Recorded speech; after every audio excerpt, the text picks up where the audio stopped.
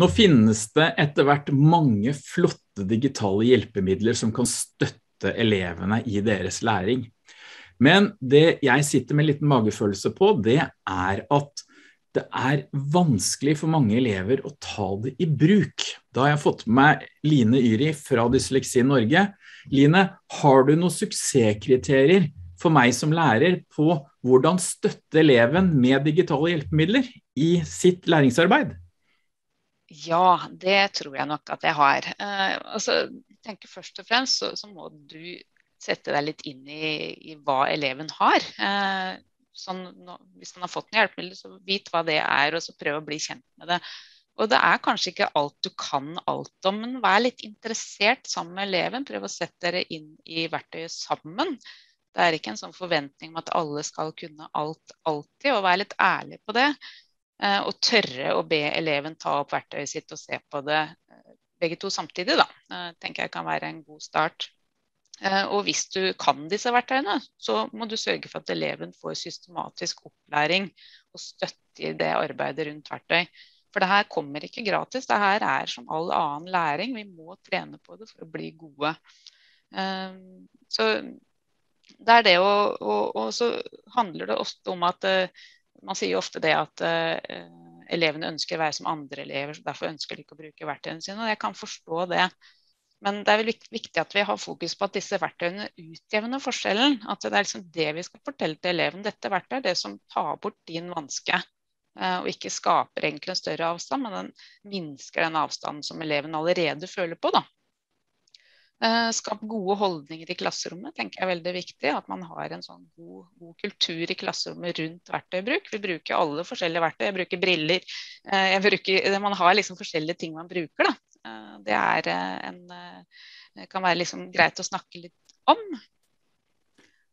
Når man skal ha prøver og eksamener og sånt nå, så er det jo litt forskjellig praksis fra skoler til skoler hvordan man får bruke digitale hjelpemidler.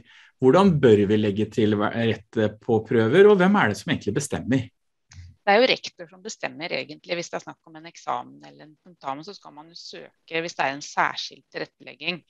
Men sånn i klasserommet så tenker jeg som lærer må man jo tenke om hva er det denne eleven trenger for å kunne vise hva jeg ønsker å, å se. da. Uh, hvis det er en prøve i samfunnsfag, og da du ønsker å vite hva eleven kan om krigen, så er det ikke så viktig at eleven sitter og skriver det. Da kan han like gjerne ta den muntlig. Eller det er en kombinasjon av muntlig skriftlig, eller at eleven kan få til å sende inn en videofil, eller at man finner forskjellige løsninger som er tilpasset til den enkelte. Da. Og her kan man være ganske romslig, tenker jeg da. Eh, for det er ikke egentlig veien inn til det endelige resultatet som er så viktig her. Det er på en måte at eh, eleven klarer å vise hva den, hva den har lært og hva den kan, og er motivert også for å kunne eh, fortelle det her da, eh, og vise det den har lært. Min oppfatning er at de aller fleste lærere i Norge er genuint opptatt av sin elevs læring.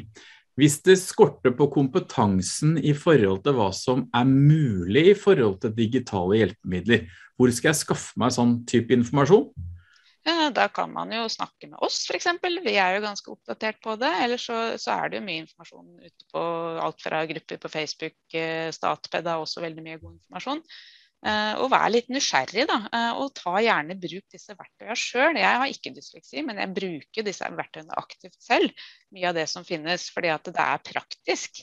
Så ofte så er det noe med det å bare åpne opp for de mulighetene som finnes da, der ute. Jeg husker jo selv fra egen studietid og når jeg var elev, at eh, jeg gikk liksom på så mange nederlag at det gikk litt utover selvbildet, dette her. Så jeg prøvde jo ofte å søke unna læringssituasjoner. Har du noen tips til meg nå som fersk lærer som skal ut og undervise? Hvordan støtter jeg disse her lærerne med på på en måte å ikke bare føle seg som taper hele tiden? Tenker det at eh, For å få dem til å bruke verktøyene, så må man skape situasjoner der de kommer godt ut av det og bruke et verktøy. Eh, og støtte de rundt det. Eh, og vise da situasjon eller verktøy som gjør det enklere. Da. At det, det er vise muligheter som gjør at man F.eks. da som stemmestyrt skriving, skriving, eller diktering. At hvor enkelt det er i forhold til å sitte og skrive på tastatur eller for hånd. Da.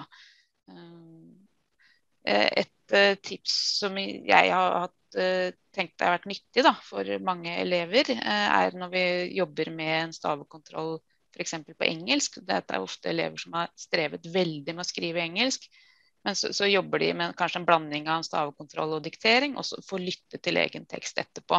Og det å lytte til at man selv har skrevet en forholdsvis lang tekst på engelsk, er, som de da kjenner igjen fordi den leses opp på engelsk. Eh, for når de leser det selv med øynene, så ser de kanskje ikke sin egen fortelling, men når de hører den, så hører de at oi, dette har jeg klart å skrive. Eh, så hele tida det å vise de gode eksemplene på hva de får til da, med disse verktøyene.